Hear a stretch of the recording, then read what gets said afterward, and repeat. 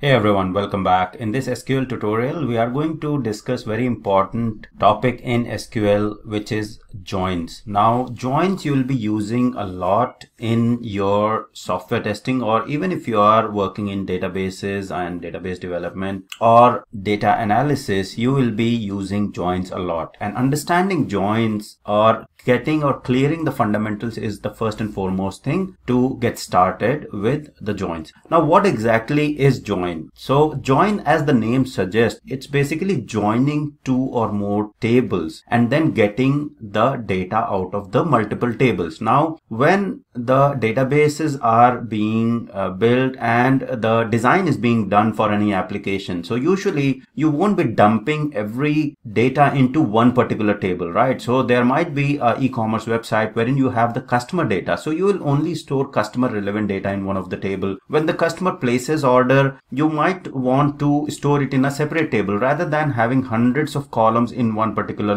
row and making that table unmanageable and unmaintainable it it is the responsibility or it is the role of the database architects to design the application database in such a way that it is more maintainable. There are tables that can be uh, that can talk together or that they are integrated or linked with some keys etc and that's where primary key and those things come in picture now what join will do is join will help you to fetch data from multiple tables. So it will join the tables and return the common set of data or the relevant data that you are looking for. Now first thing we are going to discuss is the SQL join or inner join. So whether you say join or you say inner join, it is same thing. So as you can see on the screen, say for example, I have two tables A and B or say for example, A is a customer table and B is a orders table. Now, if I want to see how many or how many records or basically how many customers have placed the orders, right? What is the common thing between the table customer and order?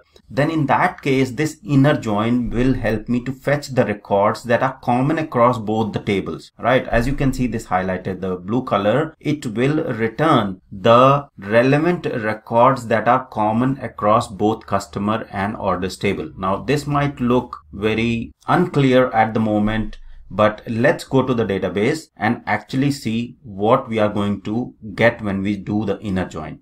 The format or the example will cover while we are in the MySQL or workbench. Okay. So here, this is some of the data that I have created. I've created two tables, customer and order, and I'll share all these queries so that you can go ahead and create your database and tables and play around. So let me show you what all data is there in the customers and orders table. So I'll open a new query tab and let's see what is there in the customer and what is there in the orders. Okay. So let me this Alright, so you can see that in the customer, I have some of the customer IDs, the name and the country where the customer belongs, right? And now in the orders, I have the order IDs for the customers that have placed the order, okay? And then there are two rows there for which there is no customer ID. There is order ID, but there is no customer ID. In real scenarios, that's not going to happen.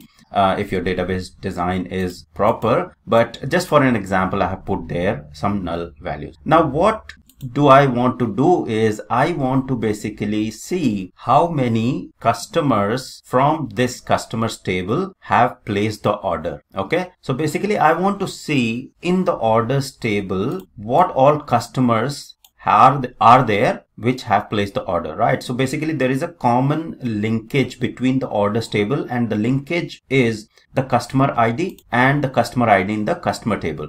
Now, if I want to see what all orders are there, right? So I can simply say select and then star from customers right? So i want to select everything from customer which have placed the orders right? So all the customers that have placed the orders. Now here if i say select star from customer and then i'll say join orders right? Because orders is the table which contains the customer orders. And then we have to provide the common criteria between both of these tables that link these tables right? So what is the common criteria? The common criteria is the customer id now customer id is there in the customers table and then customer id is there in the orders table as well so what we can do is we can say select star from customer. So I want to select all the records from the customer table and then join on orders table on what criteria? On the criteria of the customer ID. So I know that in the customer table, the customer ID is cust underscore ID. So I specify that customer dot customer ID. And then here we have to also say on, right? Because we have to specify on what criteria we have to link these two tables. So I'll say customer dot customer ID and then link them based on the customer ID of customer and customer ID of orders, right? So orders dot customer ID and that's pretty much it. Okay. So if I run this query, you will see that it will return me all the customer IDs or all the records from the customer table. Okay. You will see all these three are from the customer table. And then everything that is common with the order table as well right? So it has returned all of the customer ids that have the order ids for the customer record. Okay? So this is what the join is. Now if i say inner join all right? If i say inner join instead of join the response or the result will be exactly same. There is no difference and that proves that join and inner join are exactly same right? So you'll see that seven rows were returned when we use join and then inner join is basically seven rows returned as well okay? So what inner join or join does is it will return the common records from both the tables okay? So that's what the inner join is. Now the next thing i want to cover is now here i'm using the customer and order table and then it is sort of a lengthy naming convention. Now, is there anything better that we can do? Yes, definitely. So we can use the aliases. Okay. And I'll explain the aliases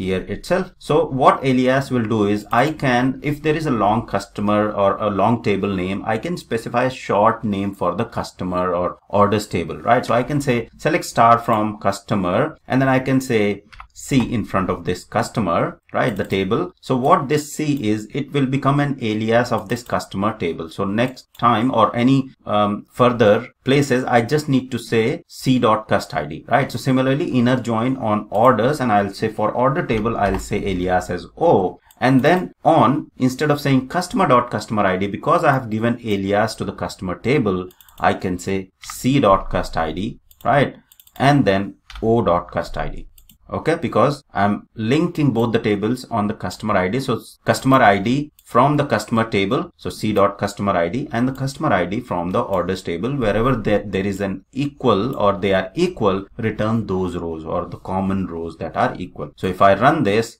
you will see the query is much cleaner now but the response is exactly same. Okay so this is about the alias thing. Now instead of selecting all of the columns i can choose specific columns from both the tables right? So what what i can do is i can say from the customer table i just want the customer id right?